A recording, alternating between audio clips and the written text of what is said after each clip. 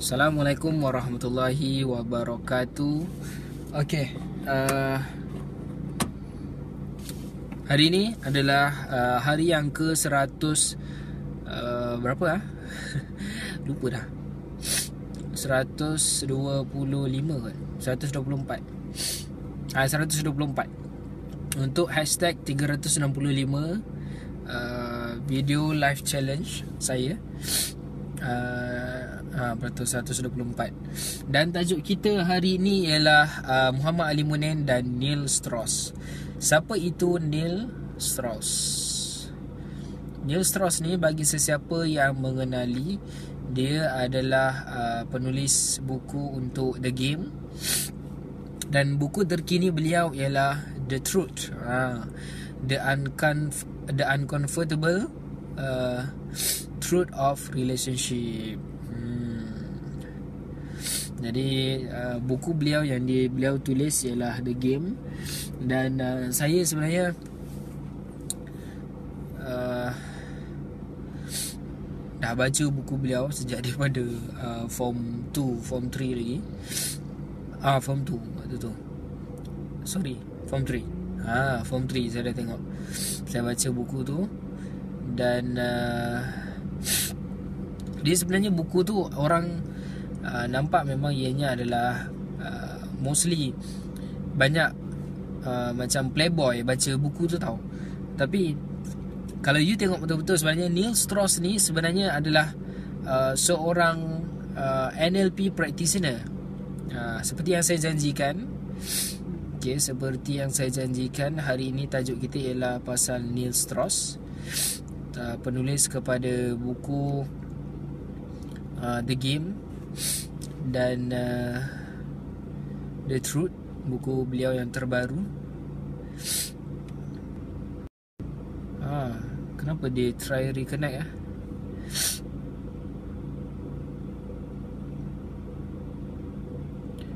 Sorry tadi dia macam try reconnect banyak kali. Okay. Uh, so Neil Strauss. Siapa itu Neil Strauss? Neil Strauss adalah penulis buku. Dia adalah NLP uh, Practitioner juga. Dan dia banyak buat kelas Seminar tentang uh, Bagaimana cara nak berkaitan tentang relationship dan more kepada perhubungan dengan uh, manusia. Bagaimana cara nak bercakap dengan manusia menggunakan neuro linguistic programming.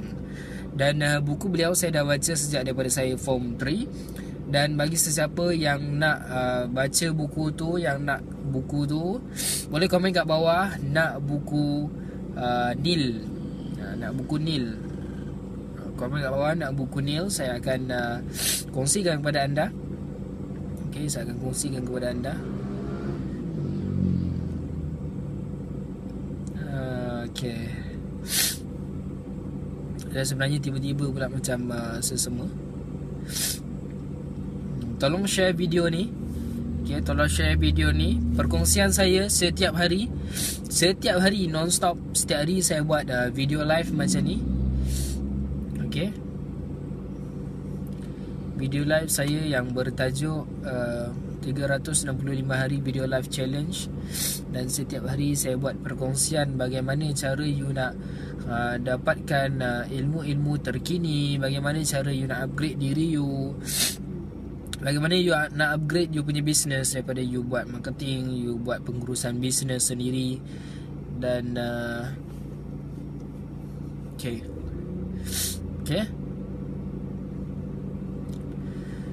So Assalamualaikum warahmatullahi wabarakatuh. Uh, Tolong share ya. Tolong share hmm, Setiap hari. InsyaAllah kalau boleh Lepas ni saya nak cuba buat live Pukul 9.30 Setiap hari uh, Sebab saya tengok sambutan sangat ramai.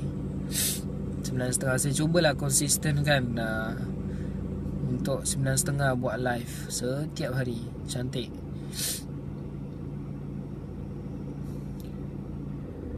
Alright. So saya dah share. Sekarang tugas anda pula untuk share. Uh, Saya dah tiga kali share. Uh, Jom share. Join uh, Sharing squad Sharing is caring eh? Lepas tu tag orang lain untuk join. Okay Neil Strauss. Uh, Neil Strauss ni dia tulis buku berkenaan tentang uh, The Game. The Game tu buku dia berkaitan tentang relationship.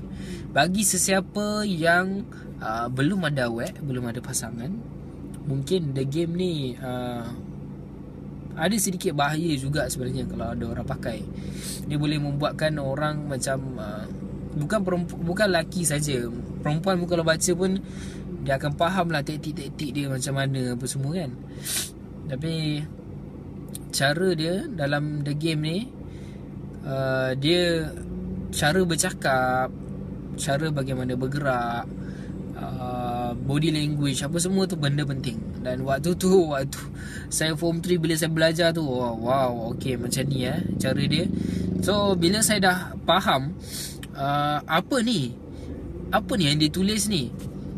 Apa yang uh, dia dia cakap ni pasal the game. Saya tertarik sebab saya tahu dia pasal communication buku tu tentang communication tapi bila saya baca dengan lebih mendalam Neil Strauss ni uh, kalau orang yang fikir positif dia akan nampak lah dia akan nampak dengan jelas yang dia membantu daripada segi perhubungan daripada segi relationship in the long run kalau you fikir positif you akan nampak yang buku itu membantu. Sangat-sangat membantu. Dan uh, bagi sesiapa yang nak buku tersebut boleh komen kat bawah eh. lagi sekali saya sebut nak buku Nil. Ha, saya akan uh, bagi kepada anda secara percuma saja komen kat bawah. Ok share video ni. Share ramai-ramai dekat you punya timeline dekat group. Ok dan uh, macam biasa saya sedang bersiaran dalam saya punya uh, kereta. Saya ada dekat Kuala Lumpur sekarang.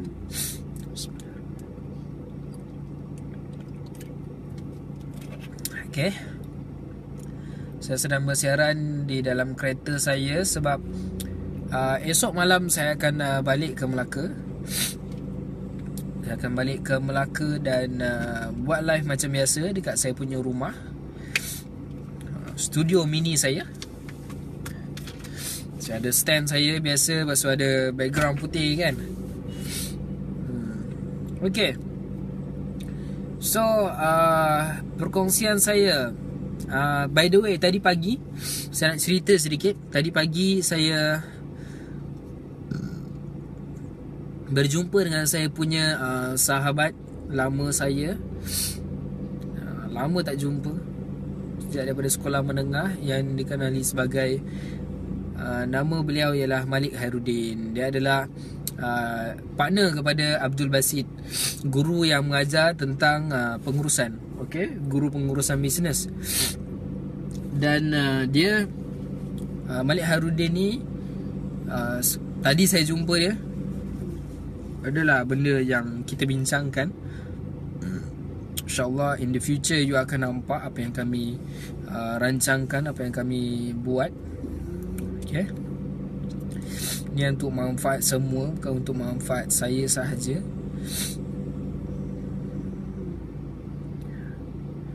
Alright. So Bila berjumpa tu uh, Saya Yelah dia bagi saya uh, Join uh, Pergi Tengok dia punya office Tuan uh, Malik uh, Saya tengok office beliau Okay Dia ada department ni Department ni Department ni Dan uh, saya kenal beliau daripada sekolah lagi dan uh, saya inspired. Saya rasa sangat inspired dan uh, saya sangat bersyukur dan uh, kerana sahabat saya dia berjaya lah. Maybe kalau you baru kenal dia memang you cakap oh dia hebat apa semua kan. Dulu saya kenal dia memang uh, memang dia seorang yang hebat juga. Tapi orang kata perubahan tu ha, dan proses dia macam mana. Dia ceritalah sedikit sebab saya tanya soalan pada beliau. Bagaimana cara uh, dia survive uh, sorry bagaimana cara uh, berapa lama jangka masa tu. And then uh, apa yang beliau lakukan apa semua tu. Adalah benda yang certain yang PNC dan uh, insyaallah apa yang kenapa saya cakap benda ni kenapa saya cerita benda ni? Sebab apa yang saya sebab saya berjumpa dengan beliau setelah se lebih kurang dekat setahun lah sebelum ni saya jumpa dia. Uh, disebabkan benda yang untuk um, memberikan uh, lebih manfaat kepada orang di luar sana. Bukan saja kepada anda saja. Kita nak spread the message kepada orang lain. Saya nak berikan uh, manfaat kepada orang lain supaya mereka sedar betapa, betapa perlunya mereka untuk belajar benda ni untuk tahu benda ni. Okey?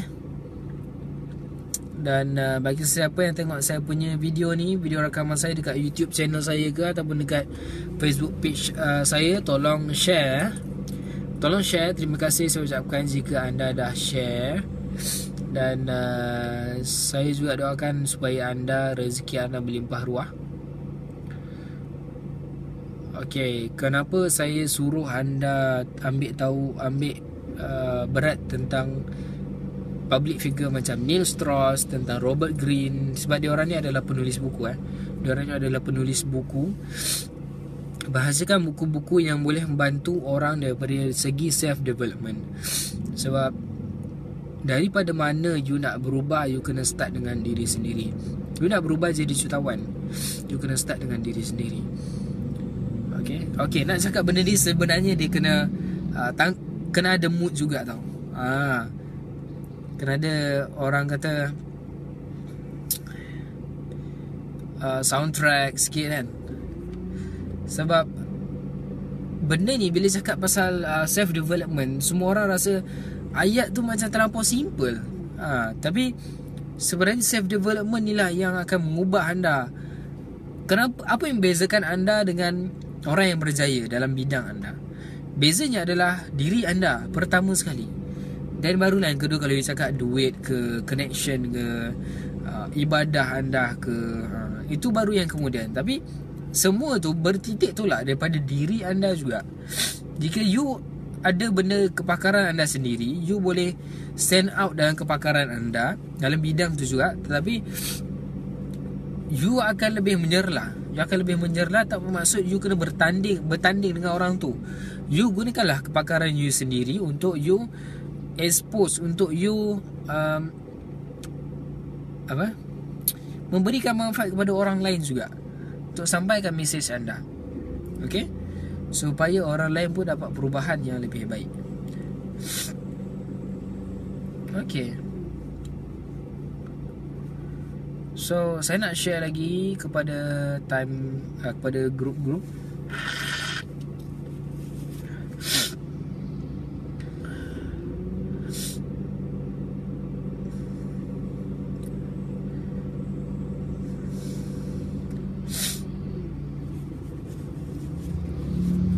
Ada apa-apa soalan boleh tanya eh. Boleh tanya.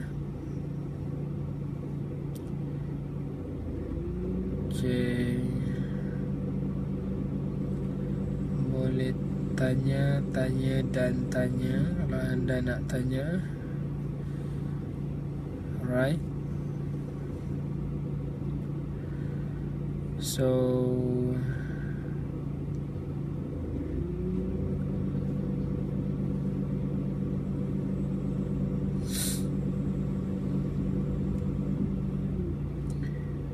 Alright.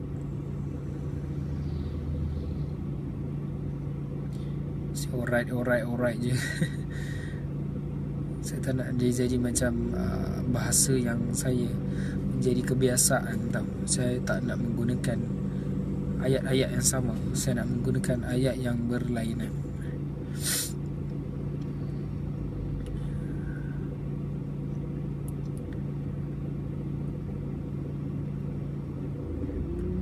Okay, so uh, hari ni adalah hari yang ke-124. Bagi sesiapa yang tengok ni, uh, jangan jangan fed up bila buat marketing. Jangan putus asa.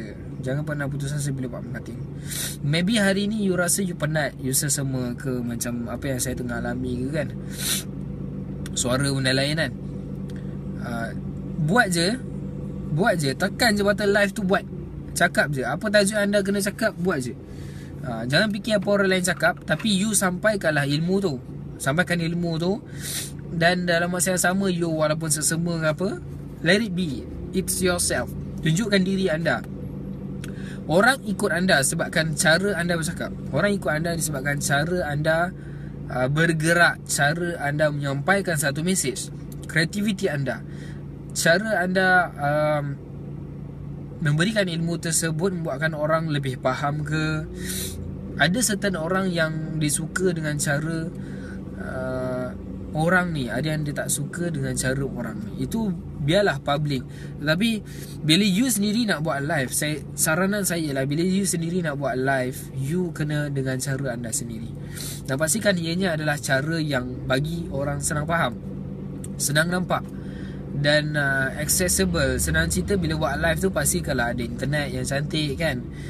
Uh, bukan cakap saya elok apa masa awal-awal dulu pun ada juga saya uh, internet macam tiba-tiba buffering lah. Lepas tu ada problem daripada segi saya tak ada stand lah bergerak-gerak lah kan. Itu biasa. Ok itu biasa permulaan memang macam tu tak apa. Ok and then uh, along the way you perbaiki benda tu. Jangan biarkan uh, kekal di dalam keadaan yang sama. So you gunakan uh, you you tahu apa itu teknik kaizen, perbaiki, okay, gradual improvement. Dan saya juga memang uh, banyak kerja, kebakaran ini memang banyak kerja sebab uh, ada klien, okay, ada customer yang perlu dijaga tanggungjawab. Dan saya pula kena siapkan uh, saya punya panduan uh, traffic blueprint. Okay uh, saya tengah tengok juga saya punya ni grup-grup saya untuk saya share ni tak tahulah.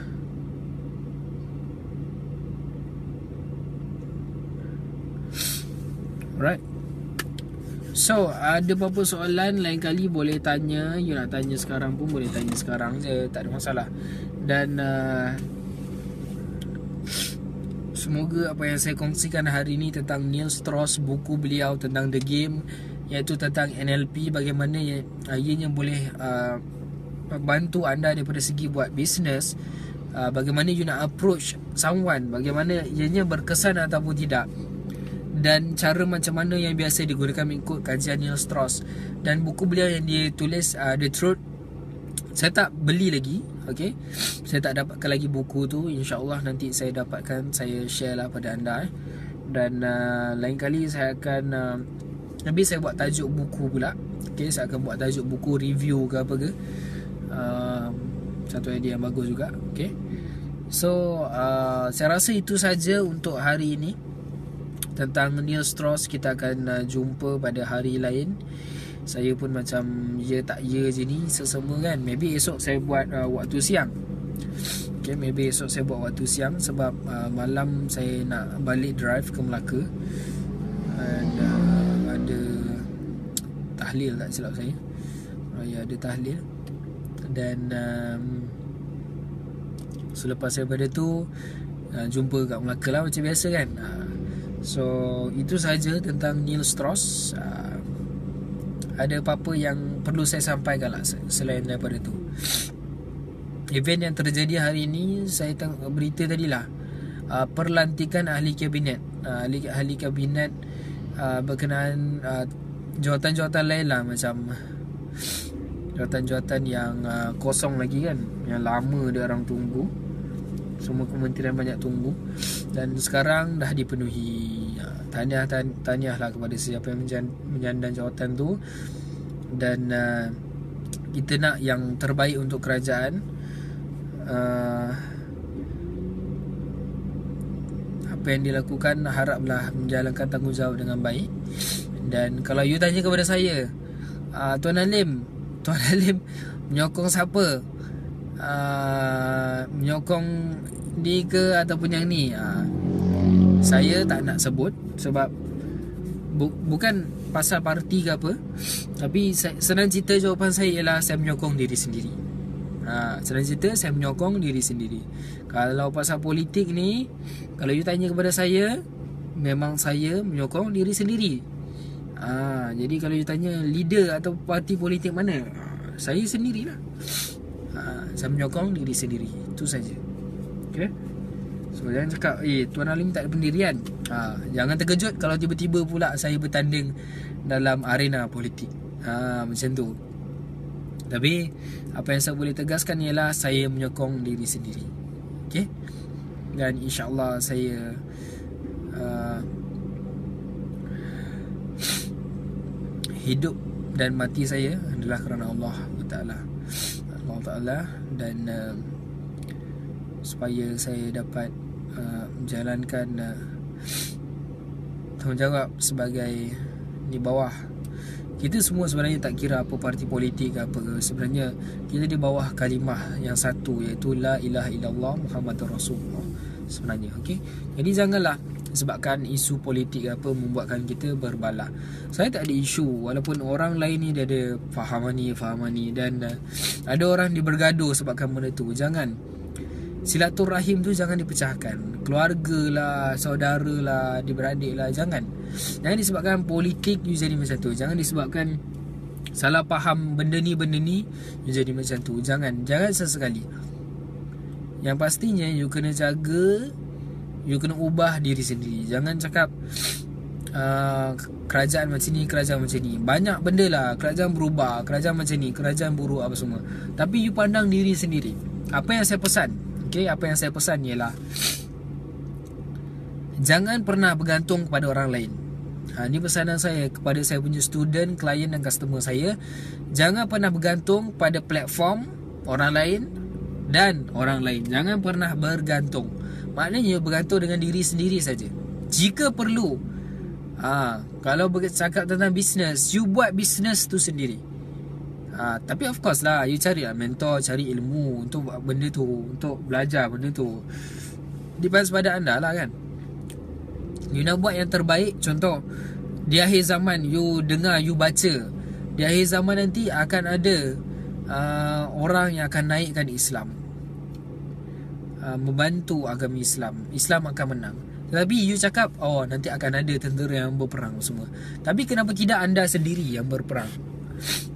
Perang bukan bermaksud uh, Sekarang You kena angkat senjata. Bukan bermaksud uh, You sendiri kena leka. You tak ambil pot pasal benda tu. You kena tahu. You kena buat persediaan sendiri. You sendiri kena sedar. Dan bila cakap dalam setiap bidang Jangan you cakap Oh uh, Orang kaya ni Melayu ni dia dah buat Orang Islam uh, Yang ni dah boleh dah buat Tak apa aku tak payah buat Jangan cakap Jangan mending jari kepada orang lain You fikir tengok cermin diri sendiri yang bertanggung pada bertanggungjawab pada diri sendiri. Okey. Di saat anda tak makan, di saat anda bekerja, anda buat untuk diri sendiri supaya orang lain pun you dapat beri manfaat. Maknanya bukan bermaksud you pentingkan diri sendiri ya. Apa yang saya maksudkan ni? Ha, jangan salah faham. Maksud saya ialah bila you fokus jangan mengharapkan orang lain you sendiri yang bangun bertindak buat ambil tanggungjawab untuk you buat yang terbaik. Buat yang baik. Ha, jangan buat benda yang buruk. Ha.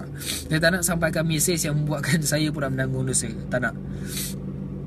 Ok you buat benda tu maknanya you juga berikan manfaat kepada orang lain.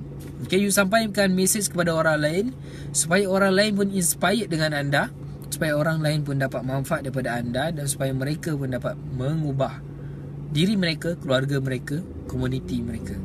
Okay Dan uh, janganlah pernah kita asyik sebut uh, kafir ke apa semua. Sebenarnya Jika you fikirkan kembali ya, Nabi kita Muhammad SAW adalah uh, rahmat untuk seluruh alam.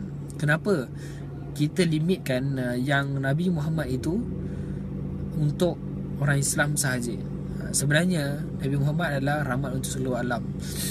Untuk sampaikan dakwah kepada seluruh alam.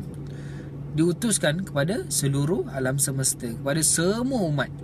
Ha, kalau dia cakap oh tidak ini untuk orang Islam saja untuk orang Melayu saja. Maybe tak sebut lah Melayu kan? Kalau macam tu maknanya orang Arab sajalah yang boleh terima Islam ha, orang Melayu tak boleh Ah, jadi jangan pernah berfikir macam tu. Kalau you duduk kat negara China, okay, dekat China sana, ada satu negeri tu memang penuh dengan Islam saja. Takkan dia nak cakap okey kita saja yang layak. No, tak boleh. Ha, jadi jangan ada mindset macam tu. Selagi mereka tak meninggal dunia, jangan pernah sebut macam tu. Dan kita buatlah sehabis mungkin. Sahabat yang kita kenal, jiran kita, pomen kereta kita ke apa, uh, aneh ke apa ke? Aneh mestilah. Mamak kan orang Islam kan. Tapi apa pun sahabat kita India ke apa mereka belum Islam lagi. Jangan panggil mereka kafir. Okey? Mereka mereka betul-betul uh, keras ke apa jangan pernah.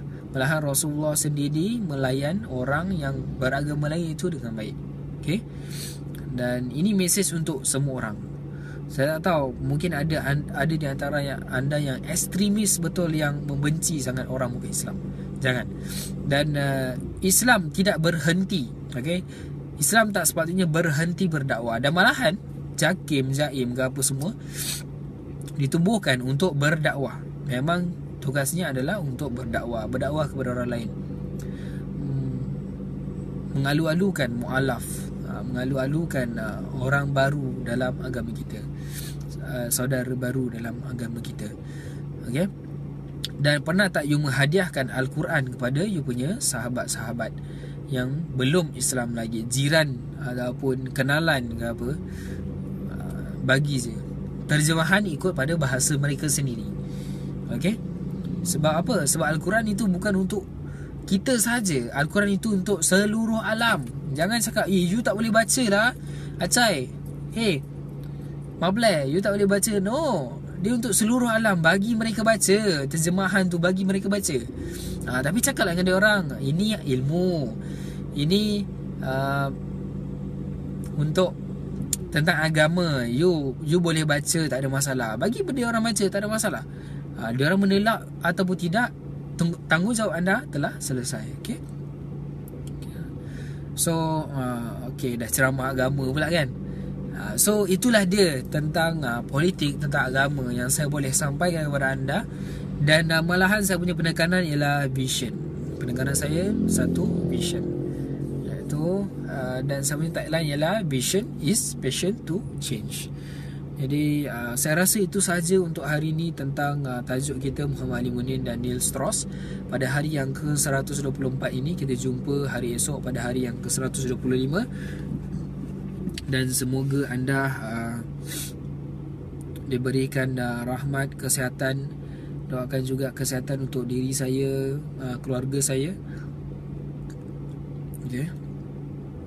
Uh, keluarga saya, mak bapak saya, adik-beradik saya semuanya sehat walafiat dan berikan rezeki yang melimpah ruah dan supaya saya juga sentiasa konsisten untuk berikan ilmu kepada anda dapat memberikan sampaikan mesej kepada anda yang baik-baik belaka. Doakan yang baik-baik belaka dan saya doakan kepada anda juga benda yang baik-baik datang kepada anda. Dan dihindari, hindari, dihindari daripada perkara yang buruk.